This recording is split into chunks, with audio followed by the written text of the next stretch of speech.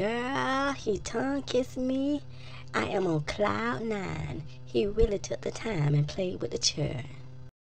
What's his name again? Tom, he friends with Big Dick Johnny and Harry. Oh yeah, I saw him before. They real good friends. Tom, Big Dick Johnny, and Harry. Harry gay. I know. He asked Taiwan to marry him, but Taiwan wouldn't, so he left town. Taiwan's so stupid. I hope Harry come back. I like him, but I don't Hold know on, Tom. I got a beat. Hello? Where the hell you at? I'm so sorry, Agnes. I'm sick. I forgot to call in. Well, we backed up. Everybody want to take off. All right, I'll be in tomorrow. That's fine. Just call in next time. Girl, that was Agnes' aggravating ass. I am so happy my work is selling. I never ever want to work for KK Queen Survey again.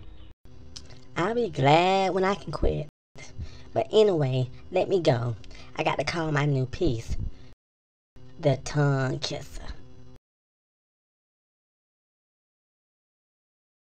I really enjoyed our night together. It was beautiful time.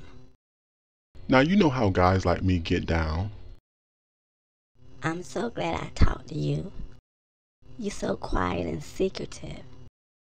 I just like to keep it mysterious and simple. All I like to do is play with the children, especially my new baby. That's cute. You making me your baby. I love Honey Nut Cheerios. Just don't flake out on me.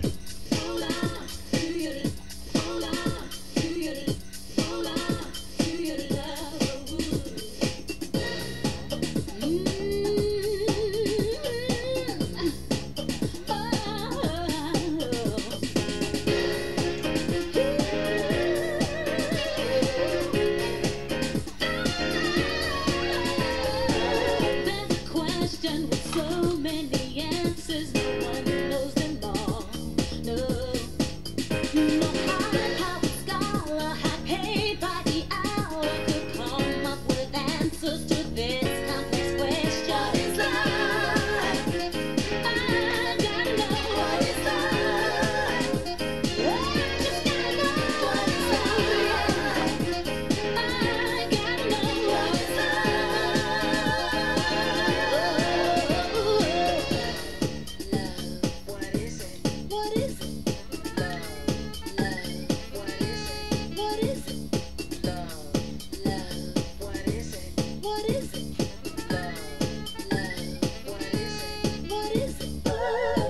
Hello?